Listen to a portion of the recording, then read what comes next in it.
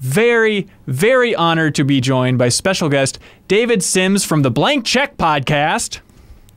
Hey guys. Oh my God! That's him. We're here because you're always teasing uh, what a huge Mario fan you are. I feel like you've been teasing fans for a long time now with maybe I'll start a video game podcast. Maybe I'll talk about Mario uh, in some capacity.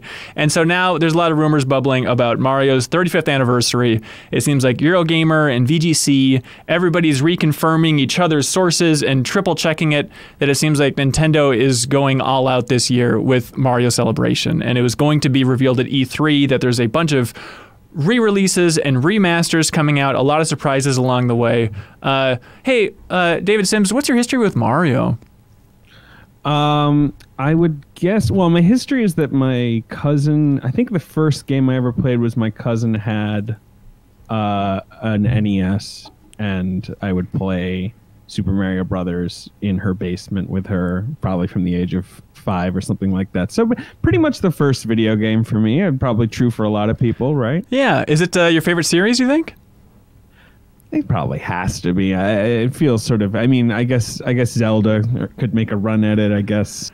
Okay. I, I do have a fondness for Resident Evil, but there's nothing more sort of consistent and nothing more like you know, constantly exciting than a new Mario game. Is there any piece of entertainment that's as consistent as the Mario series?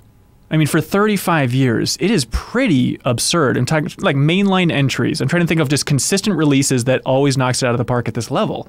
It's got to be on its own. Probably right. In terms of I mean, like again- sheer quantity too, in terms of Yeah. how many games they've released. I mean, Yeah. I guess you could say you could say Zelda. I guess Zelda would right, be but the competitor. Yeah, but Mario's longer, certainly. Mhm. You know, even if it's not by much. maybe like the Winter Olympics, always solid every year. Especially once Sonic got involved, that's definitely bumped it got up a notch, no doubt. Uh, so here's the actual report here. So Eurogamer uh, says uh, the report states that Nintendo will release quote most of Super Mario's 35 year back catalog this year, remastered for the Nintendo Switch. Uh, Eurogamer sources confirm that it's Mario Galaxy, 64, and Sunshine.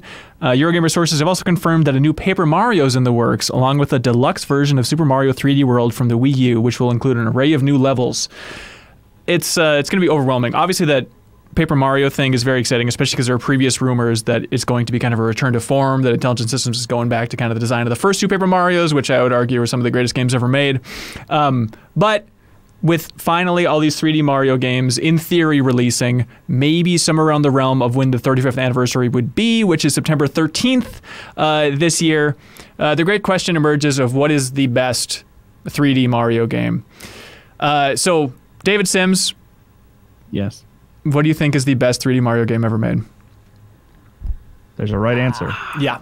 Oh God damn! Wait, there's a right answer. Oh, 100%. We all were talking wrong? about it. That I was think the me and previous Hanson hour. have the same answer. Maybe we'll see. Hmm. Um, well, I will say then that uh, for me it would be between uh, 64 and Galaxy. Okay. Okay. Just waiting Okay. Any reaction to that? Good job. Good job. And Not outrageous. I, I, I mean, is it boring? I think I have to pick 64. Well, this is this is the problem, David, because like we were all at Game Informer for a thousand years, and every time you're making a list or any sort of ranking, everybody jumps in with opinions before it's ever made clear what are we actually talking about here. So, Jeff, would you like to set the table? What are we trying to make this, this list based on? We don't know. We haven't we haven't discussed that. Is it the best game? Is it the most influential or important in history? You know, right. I mean, How, how much does the historical anger angle factor into it? I think it should be what's important now, which is going to be when these games release on the Nintendo Switch, maybe this year, however this whole thing rolls out, like what can you have the most fun playing? Right? So you're saying so this is a most fun argument. That's where I'm leaning. I say f- history, but I don't know where everybody else stands. Fun. All right, great. We got a fun. Okay, so on a pure fun basis, David Sims, still going 64 or Galaxy? See, I fun is crucial, but I mean, I do appreciate like sort of thematic qualities to these games, even though they're, you know, uh, obviously often very simple tales. But I, I think, I think I'm still going to stump for 64 slightly over Galaxy. That would probably be my one and two. Yeah, I was thinking about. Do you think 64 is just the best soundtrack? It has to be right compared to all the 3D worlds. it's it's the most like haunting and strange of the games. I mean, if you're going by the metric of like, as you say, like when all these if the, all these games are suddenly available to me on my Switch and I can just pick and choose from any of them, I think I would play 64 first. Yeah, it's the one that I'm the most curious about, like seeing how they revamp it, what it actually looks like, how much they're going to. I mean, if it's a full-on remake using like Mario Odyssey's assets, which they already, you know, kind of dip their toes into the water a little bit. Kyle, you shake your head a little bit on that one. Well, I mean, I don't think it'll be that. I mean, but they they do have a precedent for that with the Super Mario All Stars on Super Nintendo, where they like you know upgraded mm. all the, the levels and stuff. And then there's also the question of there's the the DS one that added like Wario and Yoshi and uh, Peach as like playable characters and stuff, and added new stars. I think they added like 30 new stars. Yeah, they gotta add the tus- those uh, touch controls too. Yeah, it's going to be crucial on the Switch for the handheld version. I mean, But I, th- I, th- I think it'll be like I think it'll just be an HD version of the 64 one. I don't think I think that like I don't think Nintendo's interested in like changing out the character models or anything like that. You know? Yeah, But- but, it's weird when that's going to be on the Switch and they have at least like the outside castle area from Odyssey already recreated. But I think that's maybe too much. But look, Nintendo's got a gazillion dollars, right? They could they could afford to have spent a couple years making this full remake of 64. And also, by the way, David, I'm so sorry to break it to you, but the correct answer was Super Mario Galaxy. That is Yeah, I the best mean, Mario game. Period. I, I think that if you're going by like purely objective, like sort of marrying like gameplay, you know, innovation, just uh, like that is that is probably number one. I think I have, I cannot avoid my nostalgia for 64 and my Of sort of like sort of strange love of the weird empty castle. Uh, Suriel Vazquez, you're a champion for Galaxy 2 over Galaxy Yeah. 1. Why is that? I I think they obviously it builds a lot on Galaxy's you know fundamental basis of like, hey, we're gonna turn every platform into like this round sphere. It's gonna be like this interesting mix of like traditional tra- platforming and this kind of new experience that you hadn't seen before. But I think uh, between all the suits they add, like there's a suit where you like create your own platforms with clouds and like just a bunch and adding uh, Yoshi in and, and creating a bunch of challenges around that. Uh, I think it ha- probably has like the most diverse level design of any Mario game, and um, and it was that was just like this weird game where like every other level you just saw this new idea, uh, like that felt like oh man they, they could have done so much more with this other concept that I was just exploring, but they've already decided to introduce something new into the mix, and so. Uh, I, I think there's a, there's something to be said about the the hub in Galaxy that I really like, Yeah. the original one. Um, but in terms of like, here's just some really well crafted levels. I think from beginning to end, Galaxy is probably the most consistent in terms of like, or Galaxy Two is the most consistent in like giving you something new to play around with in every level, basically. Yeah, you talk about like the variety. It is wild thinking about like the development history of Galaxy 2, where it was like, well, there are a lot of ideas we couldn't quite squeeze into Galaxy 1, didn't fit any sort of themes that we were going for. So let's just bundle all that stuff together and put it in Galaxy 2. And it's like, yeah, that's all people want from a Mario game is just like the level of variety. I mean, there is something about having a sense of place. I hear you with like a 64 or just to mention the, the, the name here, Sunshine hasn't been brought up, but you know, like having a certain distinct vibe, I think is interesting for Mario, but at its core, I think people just want that constant variety, which is why I even love you know stuff like 3D Land or 3D World, where there's not like a concrete sense of place, but in terms of just great platforming and amazing art design, like that's it. Uh, Jeffem, you've been quiet. What do you think about this whole thing? Yeah, I was I was gonna say Galaxy was gonna be mine, but I haven't played Galaxy Two or Sunshine, so Honestly, and I also really Might- liked might Odyssey. Yeah, It, it seemed like everyone it's it seemed like there was a weird kind of counter movement against Odyssey as just being not as great as previous Mario games. I guess I guess when you when you're judging everything against the legacy of Mario, then I guess I could see how maybe that was a disappointment. But I I did everything you could in that game and had a super fun time. yeah. No, I I hear you for sure. So uh, we had a community Twitter poll here. Um, what do y'all think? One out of Mario 64, Mario Galaxy, 3D World, or Odyssey. What do you think the MinnMax community preferred out of that batch? I think we skew younger, so I think it's going to go like, Ga- I think it's Galaxy. Oh, interesting. Uh, Mario Galaxy and Mario Odyssey are tied at 28.7%, but 64 took it. But then I had to have a follow up poll because everybody was screaming about the lack of sunshine. So between Sunshine, Galaxy 2, and 3D Land, which do you think won, Kyle? I'm sorry. What were the the choices? Again? Sunshine, Galaxy 2, and 3D Land. Sunshine, Galaxy 2, and 3D Land. I, I mean, I guess Sunshine has this weird campaign for it. So I think Sunshine probably. I'm sorry, it was Galaxy 2, you fool. I don't know what you're Oh, thinking. I mean, that's the right right. choice. there is.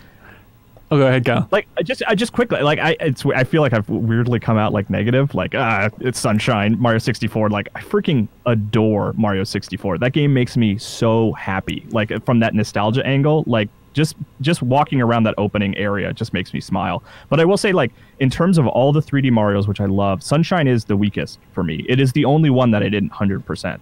Um, and I also, someone pointed out a good, uh, a, a, or posed a good question of, how is it going to work without the the GameCube um, trigger? Analog buttons? triggers. Yeah, because there's like Yeah. multiple levels of spray, and I don't know how they're going to translate that to Switch. It's, God, could they do, well, like tilt or something? Like you hold down the trigger and then you like tilt a little bit more, even like with the Joy-Cons or something silly like that? I don't know. I mean, I guess you could hold down, uh, you know, Z1 and Z- or R1 and R2. I guess I don't know. That's their problem to solve. yeah, definitely. It seems like with Sunshine, it's one of those games that I just remember the GameSpot review was really low back in the day. I think it was probably like Gerstmann reviewing it or something. So it, it figures. So I always had this in my mind that like, oh, I know that one isn't that great. And then it wasn't until I was in college that I actually went back and played that, and I had an absolute blast. It's one of those that like. it's, it's great. It's it's just it's super hard to me. I feel like it's the hardest 3D Mario. Hmm. I would agree with that. Yeah. Oh, what's your experience with Sunshine there, David Sims?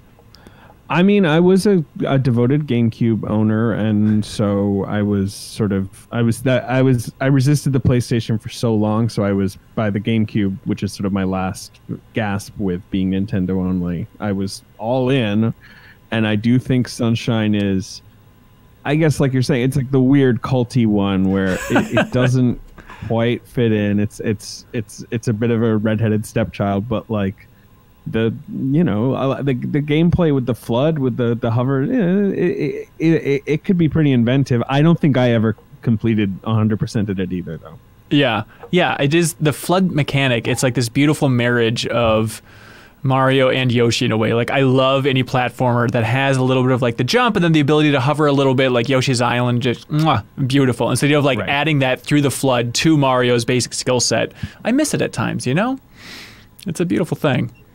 Um, okay, so when Kyle, these are released on the Switch. Which will be the first one you boot up? You know, I think it'll still be Galaxy, even though I did plug in the Wii U and play the first uh, few levels of Galaxy like two weeks ago. Really? Um, yeah, but it was because like um, it was for Mario Day, and I just made this little Twitter video, like uh, about like why Galaxy was my favorite. But I still think that's the one I would beeline to, because that's the one like it's it's been a long time before or even since the release of Galaxy that like uh, my mind has been blown so much because they basically took the standard id- you know the platform which is integral to the platformer and they tweaked that in a huge way and that just like that the way that the, the fact that you could long jump into orbit was just like incredible like that that Yeah. that to me was like the that's one of the reasons why like as much as I really adore Odyssey and love Odyssey, it, like what Jeffem was talking about, like I didn't, it, it's it, it didn't feel like as innovative after Galaxy, you know. Um, so and that's why it was like it, it- it's like slightly negative towards that one when it came out. It was like I really love this game, I hundred percented it, it's great, but it didn't it didn't innovate as much as Galaxy for me. you know? Odyssey had a T Rex though, Kyle. That's yeah, true. And he- and he was less fun that's to control than Mario himself. So Right. Yeah, it's a little can But janky was on the T edges. Rex with a mustache. that is, I can't deny that. That is true. That is factual. Yeah. Uh, the weird thing about Galaxy, obviously brilliant. I think one of the greatest games we've ever made. But I feel like last time we went back and played that, I feel like everybody will go back to Mario Galaxy and go back to their save and go through the levels and have a great time. But like starting a fresh game, I'm curious if your take was the same on this, Kyle. That like there's a lot more kind of bullshit story in Galaxy than you remember. You find yourself going through a lot of like, okay, Rosalina, Luma, got it, got it, got it, got it, got it, got it, got it, got it. It, it really it brings it down in my mind a couple notches. You know what game doesn't really have that? Yeah, Galaxy 2. That's true. Honestly, I think that's maybe why I prefer Galaxy 2. It doesn't have quite as much of a lore setup of what's happening on this thing. Yeah, you're just on a Mario head spaceship and you just go from level to level. It's it's awesome. There's all those characters that just say, "Don't worry about it. Don't think Yeah. about it too much. It's fine." The uh, the weird thing is with this report talking about how there are multiple new games in the works, and so it's unclear if they're talking about the new Paper Mario and then the deluxe version of Super Mario 3D World, which I am looking forward to. I love that game a lot. Um, or do you think that they're going to cap all this off with Super Mario Odyssey 2, which we've talked about before in the podcast? Or is that just too much Mario? It, you got to stop. Talked about this with you before, Hanson. We're not going to see Odyssey 2 this year. So you think like the multiple games that they're talking about in these reports that that's what that is? Is just Paper Mario and Deluxe Super Mario 3D World? Yeah, I think so. Yeah, they, that's Yeah. they've been able to get away with the the Wii U to uh, Switch ports for a while now. So, and this is one that I actually want. I love 3D World, so I would love to be able to play that on my Switch. And getting all these other games, I, I think is their their plans for that. And then like the Lego set, and I guess there's like isn't there that theme park as well? Well, The- who knows now? But yeah, yeah. And, I mean, it was in it was in the cards, right? But um, I think all of that they can get away with saying like this is how we're going to celebrate the, especially if they release that new Paper Mario game, which would be pretty cool. Oh my God, it would be very exciting. Yeah, you mentioned Yeah. the Illumination film. Yeah. Oh, David, have you heard? I mean, what do you think of that? Like Illumination handling a, a Mario movie? I mean, they are they are a a logical match in that I feel like they had that kind of sort of clean, cartoony visual style that Mario has gravitated towards since he became a 3D person. Uh, I've never loved an Illumination movie. They tend to be pretty, you know, sort of C plus B minus. Like you know, they, they they sort of stay in their lane almost a little too much. I also have no idea. I mean, like I love the the live action Bob Hoskins insane terrible Super Mario Brothers movie, but I love it because it's trying to make sense of a world that does not like fit into like a sort of cinematic lane at all. Like, so I. I, I, I'm just always a little resistant to like trying to explain the world of Mario like in a detailed way. So I that is my concern with that movie. Like what what what, what will its take be? Yeah, and I feel like just Simpler coming from usually the better. Yeah, yeah, and coming with like with the Minions experience, like okay, maybe if a studio is going to be so bold as to not have a lot of speaking and explanation, like maybe Illumination is a decent fit for that. But all right, uh, what is your what is your prediction though, David? Do you think that Mario will say more than his basic lines? Like, will he actually speak in a meaningful way in this film? I do. God, that you see, that's eerie. Even you saying that sent like a chill down my spine. Like, "Ah, but like, who would voice this?" him even? Well, I don't know. I mean, supposedly Miyamoto has like a major, you know, uh, hand in the creative guidance of this thing, which like I feel like is a line they tried with the original movie, and later he revealed like my only like I, I had no, I had nothing to say there. Um, but uh, like that, th- what you're saying is exactly what alarms me. Like I, I, he's gonna talk like it, there's gonna are, is there gonna be like character dynamics like it, i'm just it, the, the whole point of mario is that it's like very clean simple archetype right. and you know even a 90 minute movie is gonna have to expand on that Well, He, he's a vessel for jumping, and then and the whole point Yes. of a movie is for us to empathize with with that. You know, to, for there to be like an emotional denouement at the end of a Mario movie, where it's like, you know what, I really felt for Mario and Luigi at the end of that one. I think it's just absurd in every sense.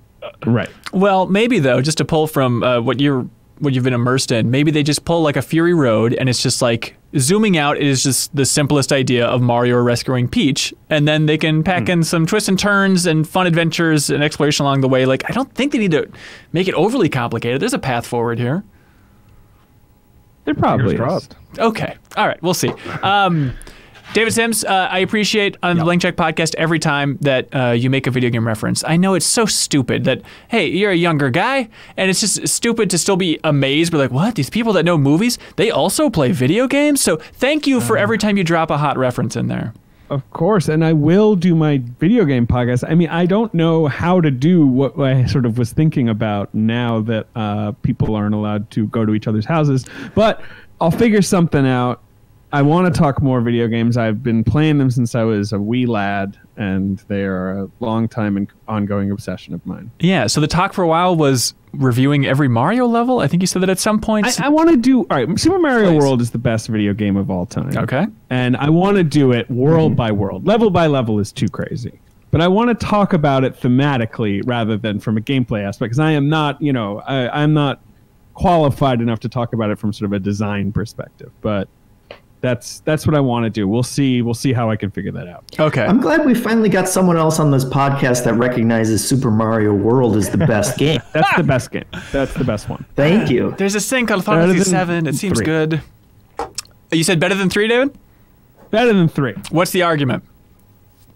It's no. I mean, you would need an hour. All right. It's not- it is. It's it, the world build. It's it's a world building thing. Here, wait. When you unlock the key, it makes a little ring noise, and it's like the, the keyhole closes in. All right, like that's all you need for a game. Yeah, it's very Did he specific. get so angry that he left? What is that? I think he How dare you mention Mario Three on this he jumped out of the window of his apartment. I do believe. very Oh, okay. unclear. He got the right my answer. doorbell. My doorbell was ringing, which is a very unusual event these days. So I was like, what is going on? and it Anyway. was Miyamoto thanking you for your service through all these years. Yes. Uh, yes. That's fantastic. Well, hey, uh, you're I mean, welcome. do- oh, go Real ahead, quick, Kyle. Hanson, I mean, do we want to get a quick ranking, like uh, from David, like because that was kind All of right. the Yeah, go the for it. Do you, here, do you have a ranking Sure. for the 3D Mario game, sir? Okay. Sticking I think I 3D, would go moving this way. Yeah. I think I go 64 number one, and I that's another one where I can expound on it for a long time. Then Galaxy one and two are, would be my next two. Tied? Then I, no, I mean one first, then two. Just Okay. just just Okay. because of again, just sort of like innovation. You know, one one is a little more of the the milestone there. Right. But although I do appreciate the argument of like two is simpler plot wise, which is sort of sort of a bonus. Then I think I would put Odyssey. Then I guess I you know what I'll put Sunshine over 3D World and Land. 3D World and Land are games that I've only played like once, you know, and, never got too deep into. I think I basically completed both, but they I have the least relationship with them, and even though Sunshine is so strange and flawed, like I do, I have a little more of a soft spot for it. Yeah. All right. We'll take it as the official ranking. Congratulations, everybody. We all really did it. Uh, let's see, David Sims. Uh, we do something here called the Deepest Dive, which is our game clubs. Uh, if we ever do Mario World, uh, we'll definitely uh, bug you again at some point. Please, Okay, great. And please, Mario World, Deus Ex, the original. What else? I'm trying to think of games that I could just talk about all day.